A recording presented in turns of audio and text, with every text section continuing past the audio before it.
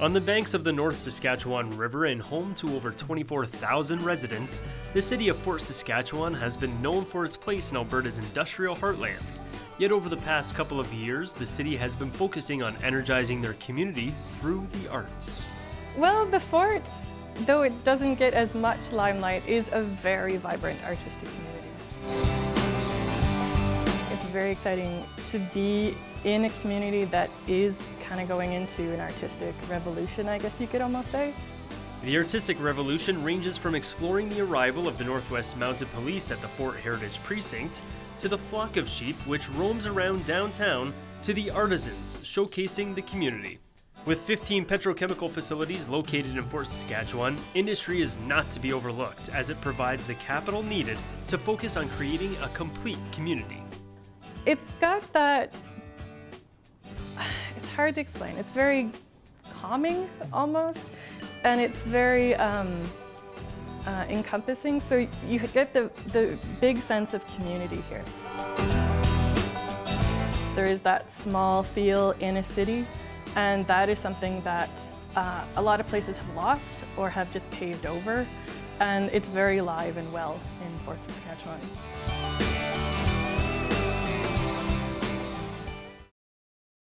I'm Doug Roxburgh and welcome to Legacy Park because on this edition we are in the city of Fort Saskatchewan and join with me is Mayor Gale Katchur.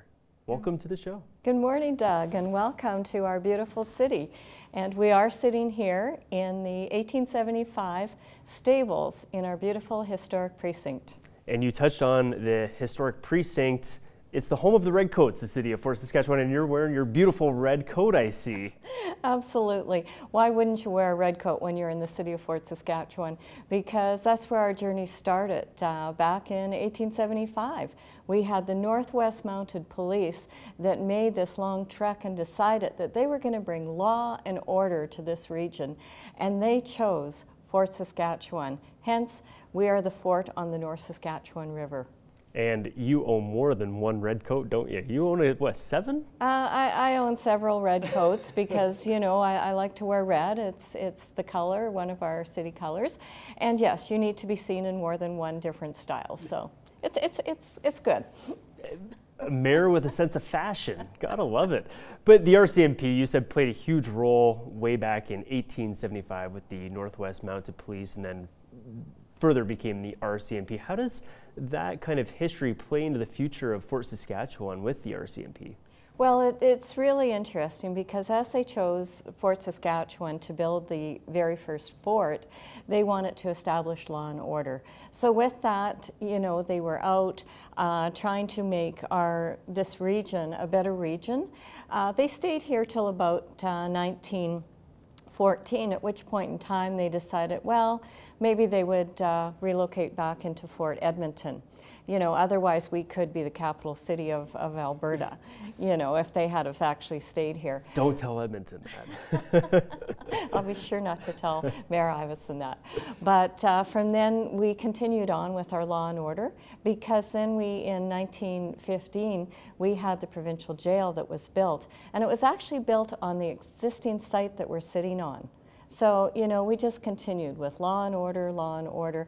But then in 1952, of course, then we moved into our industrial revolution here as Sherritt Gordon discovered the salt caverns that we had. And uh, this is when industry started. And then nine years later in 61, Dow Chemical came. And that's really a lot of our journey from where we've got to where we are to where we are now. But we've always embraced the Northwest Mounted Police. And now we have just an amazing uh, new RCMP detachment. And we finally have an inspector after how many years? I think it's about over 100 years, and that's something that we'd really like to celebrate. And the RCMP are also celebrated with many festivals that go on in town, aren't they? They are. They uh, come out, they show up at all of our uh, festivals that we have, and they really make a presence. You know, we're so proud of them as they come out on Canada Day and lead the parade. Um, you know, they come out and they're always in their red serge, and that always makes me so proud. So uh, we did have a sunset or a sunrise ceremony on this very site when we opened the 1875 fort. So we invited all of the retired RCMP officers that wanted to come, and we had uh, um, uh, one of the great grandsons, and he was here, and he was in his late 80s or 90s, and he was here for the sunrise ceremony. It was beautiful. I was wearing period costume, and, and uh, you know, it was just fabulous to be able to let them feel how much we embrace what they have done for us, and we need to celebrate, you know, the RCMP and all police officers for that matter. No question. However, if I go walking around downtown, I won't get arrested, will I? No, not unless you're doing something something really really strange. But anyway, you know, I've talked about you know where we've come to with our, our industry and how we embrace industry. But as a result of, of all of the industry that has come to Fort Saskatchewan, of course, as you walk around Fort Saskatchewan, you'll see the beauty, the arts, the culture, and of course the recreation that goes along with this community. And they're huge supporters of that. So, you know, as a result, we have our beautiful Dow Centennial Center that is just state of the art. So if you uh, have an opportunity to go out there, we have the Shell Theater, and we just have some amazing performances. I'm told that there's over 200 performances a year out there.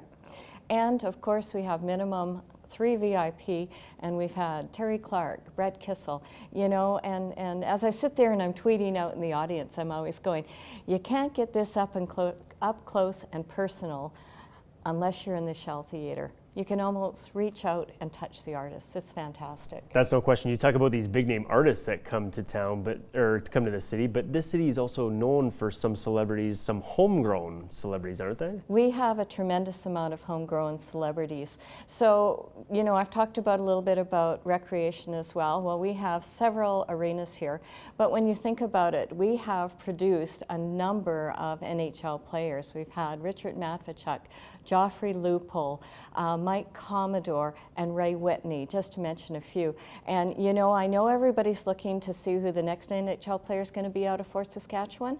Keep your eye on Kirby. Oh. He is, uh, when, he, when he becomes old enough, I can guarantee you, and you can mark this in, in this production today, he will be in the NHL. Well, I'm marking that down.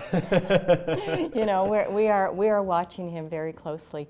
But we've also had uh, Kelsey Rocque. This is her birthplace. And she's out there curling up a storm right now, as you well know. Mm -hmm. She's doing phenomenally well. Yes. And of course, we have to talk about our actress, Evangeline Lilly. And also, born and raised in Fort Saskatchewan and, and has found her success. So, you know, when you talk about it, Fort Saskatchewan is a place if you want to be for arts and culture and recreation. And of course, it, when you talk about the Dow Centennial Center, we have the uh, Lottery Gallery, Alberta Lottery Gallery, and our last exhibit that we had in there was Dale McMillan. And he is also a homegrown boy, as I will say, but his artwork or his uh, photography is so beautiful. And it has been in Sports Illustrated. And I understand there's our Edmonton connection. He's a photographer for the Edmonton Eskimos as well. Yeah. So.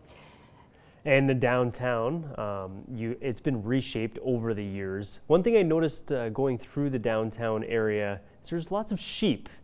What, what's the deal with sheep? so in 19, uh, I believe it was in about 1991, maybe 1992, one of our parks foremen decided, you know what, the area that we were sitting on was not developed. It was very rocky, and uh, he said, you know, it's very difficult to get the mowers out there, and we're always having breakdowns. He says, what if and I love this because I still remember this. And he says, What if we brought in 255 sheep, and that's the number he brought in, and we that's actually. an odd number. I know, I know.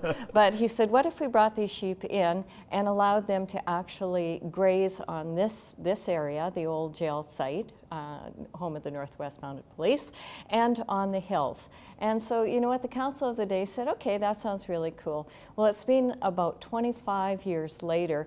We still have sheep that come to the fort. We don't have as many uh, that come. We have about 50 each year. But our mascot is called Augie, and we're very proud of him. And it leads to that warmth and charm that, that a community should be offering. And you know, when you have that, you know, the children just want to come out and flock to Augie and they flock to the sheep. And, and when, whenever I'm uh, presenting somebody a gift, it's usually a sheep, and I now tell them they're one of our flock. so sheep are a little bit better than cows or chickens, then I assume. Absolutely. uh, and you touched on industry and how it's played such an important role in town. I mean, it provides lots of jobs for everyone from Dow Chemical to Shell to many of the other industry uh, partners. Uh, I know you're not trying to shed the label of industry, but Fort Saskatchewan's also a family driven community as well, isn't it?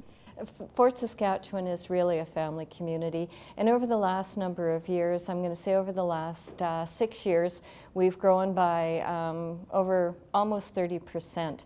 And with that, what we're seeing is the demographics are changing because people are saying we want to raise our family in a community that has wholesome and has good attributes and you know welcomes children and families. So we have a lot of free events that take place. I mean, uh, we have Winterfest. It's totally free. They can bring their kids out and discover what it was like to to uh, um, to live in in the 1800s. We have uh, Canada Day that offers free events. We have Family Festival. So everything that we do, we try and ensure that we're encouraging the family participation. And I think that that's really what it's about to say, you know what, if you want it all, we've got it here in Fort Saskatchewan. And you're also trying to utilize the River Valley more um, with the revitalization of the city of Fort Saskatchewan and with the growing population. How is the River Valley being incorporated in the city? Well, the River Valley, as, as if anybody Googles Fort Saskatchewan, they'll see that, that we are built on the banks of the North Saskatchewan River. And the trails, we have about 73 kilometers of trails. So you can go from the very south of Fort Saskatchewan, and as you start at the trail system there, we have the Dow Diamonds, we have Andy's Playground. You can progress progress on to uh, um, the West Rivers Edge Pavilion where we have a trout pond that you can go fishing and we have Kids Can Catch and once again uh, we have sponsors for that and the kids get to come out and they get a free fishing rod, they get to fish. You can continue on the trail all the way to the east uh, down to Turner Park where you can get to the campground but these trails lead into our residential neighborhoods. They lead up to this historic precinct. So we are very proud and you know, i am told we're having uh, another, uh, we've had Storm the Fort that runs here. We're having a 100 kilometer race that's starting here. But our trails are so significant that we have, we have people come out of Edmonton to train on our trail system. But you know what, it just adds to the walkability, the accessibility, and the fact that, you know what, take your children, get out, walk, you know, have fun in Fort Saskatchewan. And of course, this is where you live. So, I mean, it's a very important place to you. Mayor, thank you so much for joining us on this edition. Really appreciate it. Thank you very much, Doug. I'm Doug Roxburgh, and if you want to have your city or town featured in the capital city region on where you live, just send us a tweet at Shaw TV Edmonton. This is another edition of Where You Live.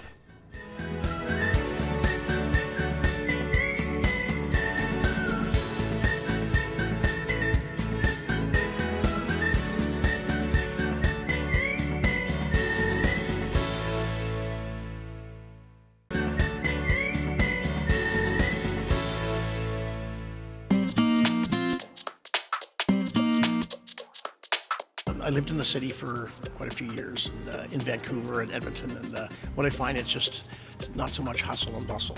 You know, there's lots of amenities here. There's things happening. It's just enough. I, just, I like it. Population just under 10,000.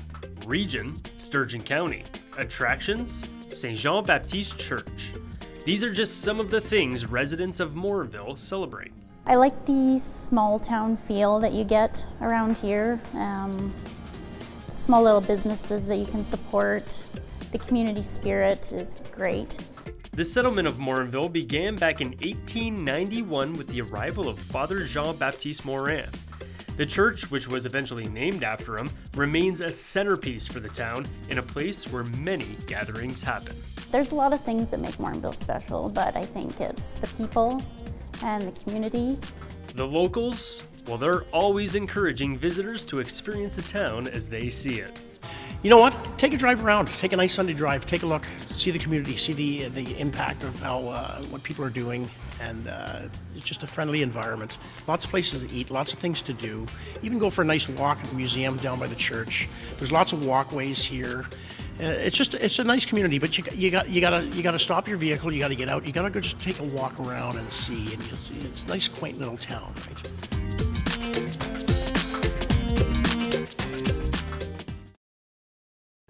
Today on Where You Live, we drive up Highway 2 to the town of Morinville, where we meet with Mayor Lisa Holmes. Guten Tag, bienvenue, welcome.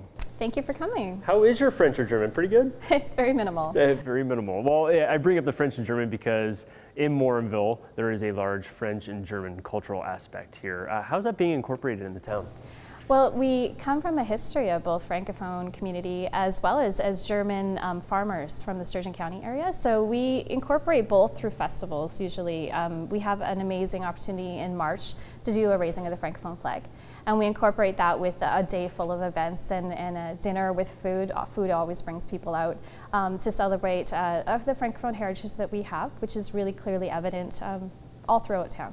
All of our street signs are bilingual. We spend a lot of time just trying to uh, make sure that people um, realize where we come from. And then the, the, German heritage, we throw a huge Oktoberfest in October, which is obviously what it says. It's a lot of fun. Uh, we have entertainment and, and, food and bratwurst and beer, and, and it's fantastic. And one of the things I did notice was uh, if you drive downtown, you have St. Jean Baptiste Church, and then you have uh, some of the other buildings that are steeped in the heritage and the cultural aspect. That, that's part of the development? It is. Um, you know, Morinville has been around a long time. We celebrated our 100th birthday in 1911 or in 2011. Um, so one thing that is, is, special is that we have one of the oldest churches in Alberta. It was, I believe, the second um, historical designated building in, in, Alberta. And we have not just the church, but the, the old convent as well. And it is the focal piece, obviously, of the town. Um, when you drive through, it's the first thing you see, and it is beautiful. So we've tried to incorporate some of that theme in the rest of the development downtown and um, really celebrate what we call the coeur de Morinville, which is the, just the heart of our community. And that is the heart. We're also in one of the other heart pieces of the community in the Cultural Community Center, the CCC. Uh, how is this so important uh, to the town? Well, it's a great place for the community to gather, and we really were missing that the opportunity for people to come in and celebrate culture, whatever it means to them. So it might be community events and meetings, it, it could be events like what we have up here, which um, we're in a space called My Loft, which is the Morinville Youth Loft. So we have a lot of opportunities for, for youth to come in and, and um, engage with each other and, and do things um, also that would be like cooking classes and, and, and youth programs. But we also celebrate our, our culture by having huge, big theater um, organizations come in and, and offer us a lot of events that way. So it's, it's been a fantastic building. Um, it's, it's new, it's fairly new. It opened in our centennial year, and uh, it's really well used. Over the past year, you've ran with this campaign called More in Morinville. Is there more in Ville? See, they're play on words, right? Absolutely. Well, we, we say there is. Um, the campaign was great. It, it, it's celebrated with a YouTube video that was uh, done uh, with a lot of local people, uh, a song specifically written for us.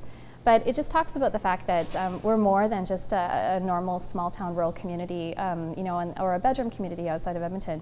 We have a lot of heritage. We have a lot of pride. Um, we have a, a, really young, vibrant community as well. Our average age is 32. So um, the amount of families here that, that really offer that, that feeling of, of small town with all the amenities of a small city it has a lot to offer. And I guess those are just some of the benefits of living in a smaller community. We visited a Beaumont and we visited Leduc, which is smaller outside of the Edmonton actual core. Uh, are there other benefits to living, say, here in Morinville, say, to compare to those towns? Well, there is. I mean, um, almost half of the number of people that, that work in Morinville um, don't actually work in our community. They work in, in Edmonton or, or, in our surrounding region. And so we may be deemed a bedroom community, but I think that the reason why communities like Beaumont and Stony Plain and Morinville have become so vibrant is that people really want to have that community feel have the pride that comes with knowing your neighbors and your friends and being able to walk through a traditional downtown and, and um, do your shopping in a, in a small space rather than going to a big box store.